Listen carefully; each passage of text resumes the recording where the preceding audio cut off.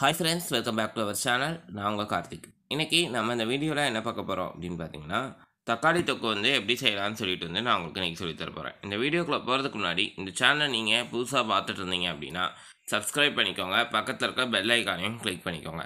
Okay friends இப்போ வாங்க நம்ம வீடியோக்குள்ளே போகலாம்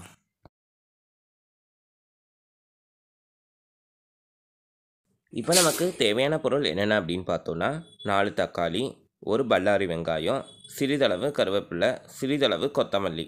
இது எல்லாமே நம்ம வந்து பொடி பொடியாக நம்ம நறுக்கி வச்சுக்கலாம். தக்காளியை மட்டும் நம்ம மிக்சியில் போட்டு இந்த மாதிரி வந்து அடித்து வச்சுக்கலாம்.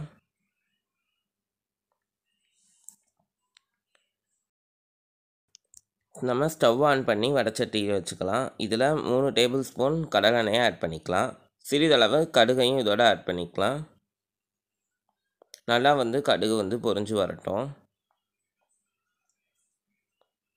இப்போ நல்லா வந்து கடுகு பொரிஞ்சோடனே நம்ம நறுக்கி வச்சுருக்கிற கருவேப்பிள்ளையும் கொத்தமல்லியும் இதோட ஆட் பண்ணிக்கலாம். இப்போ நல்லா வந்து நம்ம வணக்கிக்கலாம். இப்போ நம்ம வெங்காயத்தையும் நம்ம இதோட ஆட் பண்ணிக்கலாம். இப்போ நம்ம நல்லா வந்து வணக்கிக்கலாம். இப்போ வந்து நம்ம நல்லா வணக்கியாச்சு. இதில் தேவையான அளவு மஞ்சள் தூளை நம்ம ஆட் பண்ணி நல்லா வந்து வணக்கிக்கலாம். இப்போ நம்ம அடித்து வச்சுருக்கிற தக்காளியை வந்து இதோட ஆட் பண்ணிக்கலாம். இப்போ இந்த வெங்காயத்தோட கலர் வந்து மஞ்சள் கலரில் இருக்கும். இந்த மாதிரி வரும்போது தான் நம்ம வந்து தக்காளியை ஆட் பண்ணணும்.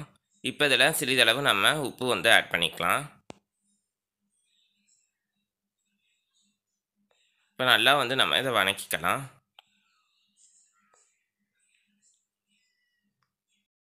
இப்போ இதில் ஒரு ஒரு ஸ்பூன் அளவு சாம்பார் தூளை நம்ம இதில் ஆட் பண்ணிக்கலாம்.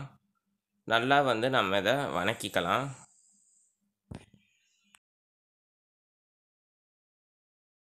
ஒரு டம்ளர் தண்ணியை வந்து இதோட நம்ம ஆட் பண்ணிக்கலாம். நல்லா வந்து நம்ம கொதிக்க விட்டுருவோம்.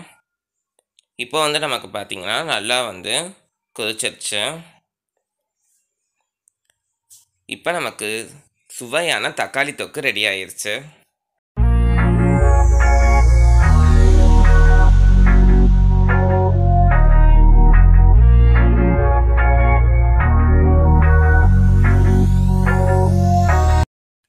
இந்த வீடியோ உங்களுக்கு பிடிச்சிருந்தா மறக்காமல் லைக் பண்ணிக்கோங்க. இந்த ரெசிபியை கண்டிப்பாக வந்து உங்கள் வீட்லேயே வந்து ட்ரை பண்ணி பாருங்கள் எப்படி இருக்குன்னு சொல்லிட்டு நம்ம கமெண்ட் பாக்ஸையும் வந்து கமெண்ட் பண்ணுங்கள் ஓகே ஃப்ரெண்ட்ஸ் இன்னொரு புது வீடியோவில் சந்திப்போம். பாய்